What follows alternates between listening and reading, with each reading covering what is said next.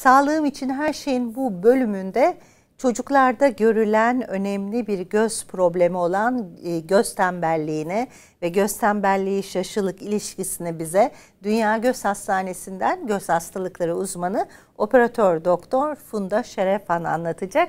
Hoş geldiniz. Hoş bulduk. Sevgili izleyiciler biz Doktor Funda Şerefhan'la sohbetimize başlayacağız. Ancak öğrenmek istedikleriniz, görüş ve önerileriniz için iletişim bilgilerimiz ekranlarımızda.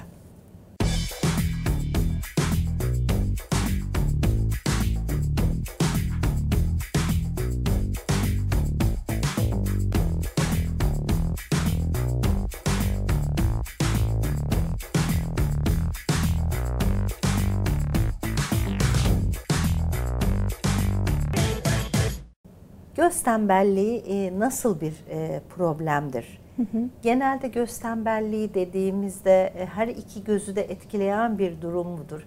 Yoksa daha yaygın olarak tek gözüme etkiler göz tembelliği? Ee, göz tembelliği çoğu zaman %80'in üzerinde tek gözü ilgilendiren ama nadiren iki gözü birden ilgilendire, ilgilendirebilen bir göz görme azlığı durumu aslında. Bunun birden fazla sebebi var e, çocukluk çağında görme problemlerinin, görme azlığı problemlerinin çok büyük bir yüzdesini oluşturduğu için aslında çok önemli. E, erişkinlik döneminde görülen bir durum değil. E, 0-10 yaş döneminde ortaya çıkan 0-10 e, yaş dönemindeki bebek ve çocukları ilgilendiren bir takım göz problemleriyle alakalı olarak ortaya çıkan bir durum olduğu için ve aslında önlenebilir bir durum olduğu için e, çok önem kazanıyor e, ve toplumda yaklaşık yüzde iki-üç oranında görülüyor ki bu hiç e, az bir oran değil. Toplumda dediğiniz çocuklarda değil, toplumdaki oranından evet, bahsediyorsunuz toplumdaki oranından bahsediyorum. Yüzde iki-üç ki bu gerçekten azımsanacak bir oran değil. Ee, üstelik de önlenebilir, tespit edildiğinde önlenebilir olduğunu düşünürsek hiç azımsanacak bir durum değil. Dediniz ki göz tembelliği tespit edildiğinde önlenebilir bir durumdur. Tedavi edilebilir bir durum. Evet. Peki diyelim ki göz tembelliği var bir çocukta 0-10 yaş arasındaki bir dönemde bir türlü tespit edilemedi. Evet. Ee, ve göz tembelliği ilerledi. Ee, ne tür sorunları da birlikte getirebilir? Başka hastalıkları da gözle ee, ilgili getirebilir mi göz tembelliği? Şimdi göz tembelliği zaten gözdeki diğer rahatsızlıklara bağlı olarak ortaya çıkıyor genellikle. Yani tek başına göz tembelliği durumu bir gözün az görmesi e, gibi bir durum söz konusu değil. Göz tembelliğini ortaya çıkaran diğer sebeplere bakmak lazım. Bunların e, en önemlilerinden bir tanesi göz kaymaları, şaşılık dediğimiz. E, bir tanesi iki göz arasında ciddi numara farkları, göz kusurları yani gözlük ihtiyacına sebep olabilecek e, özellikle yüksek numaralar ve iki gözün e, numarasının farklı olduğu durumlar.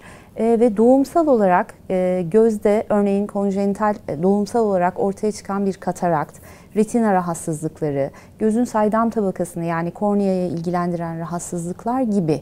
Dolayısıyla eğer bunlara ait bir sebeple göz tembelliği ortaya çıkmışsa ee, öncelikle tabii ki bunu e, tedavi etmek gerekir ve beraberinde zaten böyle bir problem vardır.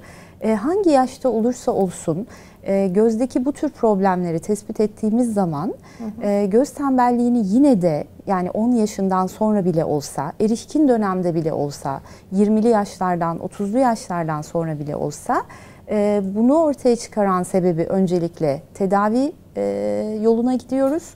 E, arkasından da göz tembelliği için yani hani tembel gözün görmesini biraz daha arttırabilmek için neler yapabiliriz onları gözden geçiriyoruz. Şimdi biraz önce e, göz tembelliğine yol açan hı hı. en büyük faktörlerden birinin şaşılık olduğunu evet. söylediniz. Evet. Hı hı. Şimdi şaşılık göz tembelliğine yol açabiliyor. Peki hı hı. tam tersi de bazen söz konusu olabilir mi? Elbette. Bir e, çocukta göz tembelliği varsa, varsa zaman içinde gözde kayma, kayma yani şaşılık oluşumu da Elbette. gelişebilir mi? Elbette. Ee, eğer e, zaten hani şöyle bir kural vardır aslında. E, hı. Görmeyen göz kayar ya da az gören göz kayar hakikaten.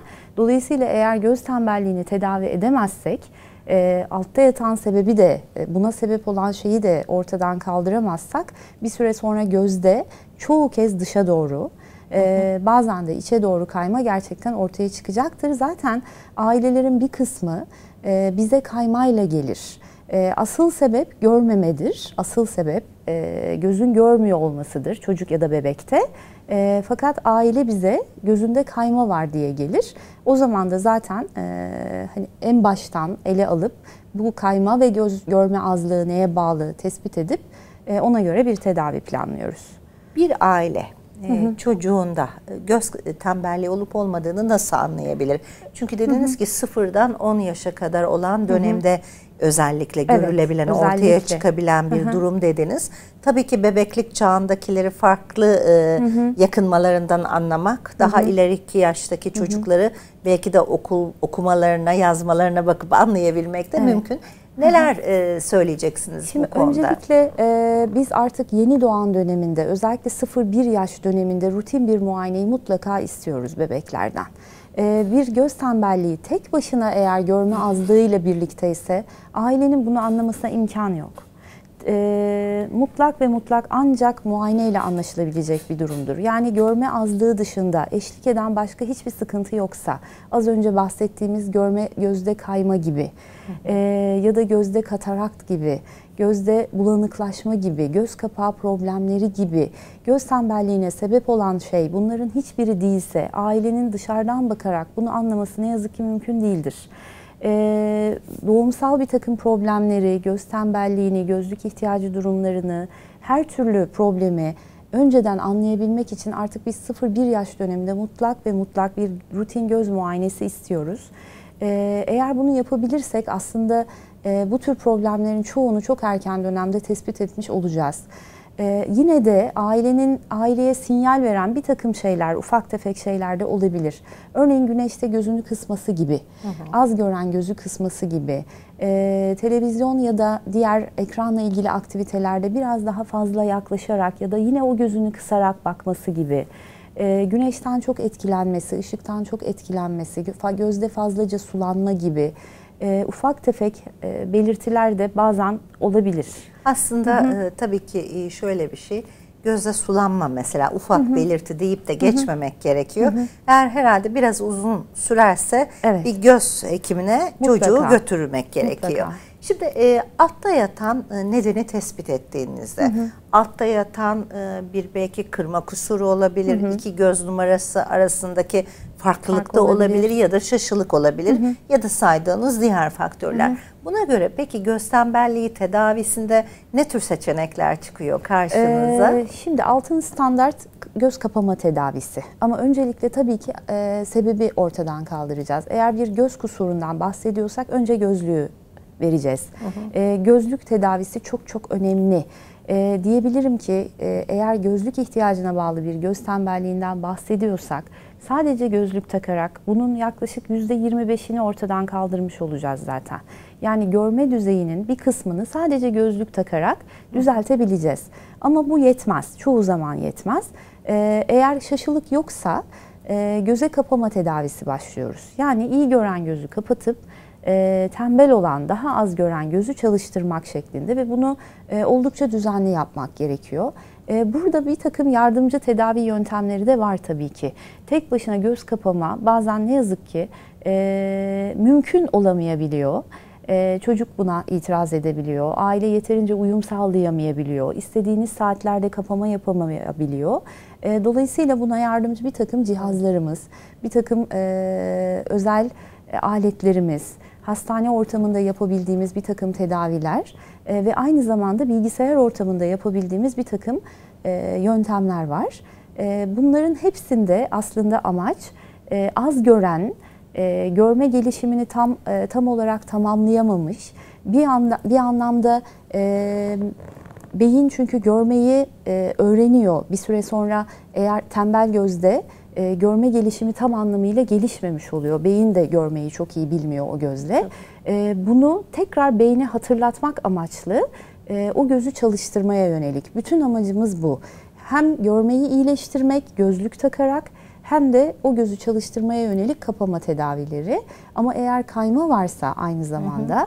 E, ve kaymaya bağlı bir göz tembelliğinden bahsediyorsak, görme düzeyi henüz iyi ise o zaman mutlaka kaymayı düzeltmek için e, cerrahi yönteme başvurmak da gerekebilir. Göz kaslarıyla alakalı. O zaman biraz o konuda da çünkü hı hı. E, ailelerden de soru geliyor. Eğer hı hı çocukta göz kayması nedeniyle bir ameliyat gerekiyorsa bu ameliyat nasıl yapılıyor? Anestezi e, nasıl oluyor? E, çocuk acı ağrı hissediyor mu? Gözde iz kalıyor mu? Ee, şimdi şaşılık ameliyatları hakikaten çok konforlu ameliyatlar. Öncelikle onu mutlaka vurgulamak gerekir. Süre olarak çok kısa ameliyatlar. Görmeyi asla ilgilendiren ameliyatlar değil. Ee, ve sonrasında bakımı öyle uzun olan, e, meşakkatli olan ameliyatlar değil. Hastanede yatmayı gerektirmiyor. Elbette genel anestezi altında yapılıyor. Öyle olunca da zaten ağrısızı, sancı gibi bir şey söz konusu değil. E, ertesi gün e, banyosu dahil her şeyini yapabilir hale gelir çocuklar ya da erişkinler. E, ve hakikaten hoplayıp zıplamaya başlarlar. Yani e, ciddi şekilde ağrıları, sızıları hiçbir zaman olmaz. Diyelim çocuk eğer okul çağındaysa, estağfurullah çocuk okul çağındaki bir çocuksa e, okula gidebilir mi ya da ertesi gün e, tekrar hani oynayabilir dediniz ama okula gitmesinde ödevlerini yapmasında Şöyle, e, bir orada sakınca birazcık var mı? sıkıntımız olabilir. Çünkü e, okul çağındayken hani gözünde bir, bir miktar birkaç gün, ilk birkaç gün biraz sulanmamız olacaktır mutlaka. Göz kapağında hafifçe bir ödem, hafifçe kızarıklık, şişlik. Elbette ameliyat olduğu estetik olarak da birazcık belli olacaktır ama bu süreç en fazla bir haftadır. İki gözde de kayma olabiliyor bazen. Elbette. Şimdi iki gözde kayması olan bir çocukta iki göze aynı anda aynı seansta ameliyat Aynı yapıyor seansta. musunuz? Çoğu zaman evet. Çünkü genel anesteziyi düşündüğünüzde ailelerin tedirginliğini de elbette tahmin edebilirsiniz. Ee, eğer gerçekten e, iki göz için de endikasyon koyabiliyorsak ve e, yaptığımız hesaplamalar iki gözü birden, e, iki gözün e, birden fazla kasına müdahaleyi gerektirecek gibi ise ve buna müsaade edebiliyorsa iki gözü aynı seansta ameliyat etmeyi tercih ediyoruz. Biraz önce bahsettiğiniz gözün kapatılma tedavisine gelmek e, istiyorum tekrardan. Çünkü gerçekten bu sizin de belirttiğiniz gibi çocukların, e, ailelerin de çocuklarının gözünü kapatma konusunda en zorlandıkları konulardan e, biri. Bu konuda nasıl bir çözüm buluyorsunuz? Göz kapatıldı mı? Ee, sürekli belli bir saat boyunca kapalı mı kalması gerekiyor? Bu tedavinin olumlu sonuç vermesi için gözün ne kadar süre kapalı kalması gerekli? Bir de e, bu tedaviye alternatif ilaçla da yapılan kapatılma Var. tedavileri var mı? Ee, şimdi burada bir, bir takım hesaplamalar var. Aslında çocuğun yaşı, görme düzeyi e, bunlar bizim için önemli. Ee, evet kapamayı hakikaten düzenli olarak her gün günün belli saatlerinde olmasa da elbette çocuğun uyanık olduğu saatlerde yaşına göre ve görme düzeyine göre ayarlayarak belli saatlerde yapıyoruz. Ee, süreklilik olmasını istiyoruz aslında. Her gün olması çok önemli. Hep bunu söylüyoruz. Yani ben 3 gün 10 saat kapatayım, 2 gün hiç kapatmayayım. Ee, bunu çok tercih etmiyoruz. 3 gün her gün 3 saat kapatalım. Bu çok daha etkili diyoruz. Düzenlilik açısından. Ee, ve hani çok fazla bölmek istemiyoruz aslında. Yani o 3 saati 1 saat, 1 saat, 1 saat bölmeyi çok istemiyoruz ama çaresiz kaldığımız durumlarda bazen izin verebiliyoruz. Diyelim ki çocuk buna hiçbir şekilde uyum sağlamıyor. Yani evdeki kapamaya hiçbir şekilde uyum sağlamıyor. O zaman hastane ortamında uyguladığımız özel bir takım tedaviler var. Öncelikle onlarla başlıyoruz. Özel bilgisayar programlarımız var. Onlarla bazen sürdürüyoruz kapamayı. Bunlardan en önemlisi nörovizyon tedavisi. Ee, algılayarak öğrenme prensibine dayalı bir tedavi. Ee, gerçekten çok etkili. Ee, ve e, kullanımı oldukça kolay. 9 yaşın üzerindeki çocukların çok rahat ve erişkinlerin tabii ki çok rahatlıkla uyum sağlayabildiği bir tedavi. Bazen de e, sizin de söylediğiniz gibi çok küçük çocuklarda bilgisayar programlarını kullanamadığımız ya da hastane ortamında tedaviyi e, sağlayamadığımız küçük çocuklarda damla tedavisine başvurduğumuz oluyor evet. E, bu damlalar özel e, gözün e, uyum yeteneğini bozan damlalar. Göz kaslarını kısa süreliğine felç ediyor aslında.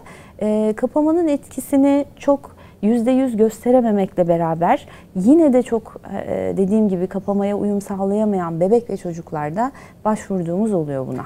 Ben çok teşekkür ederim. Sağlığım için her şeye katıldınız.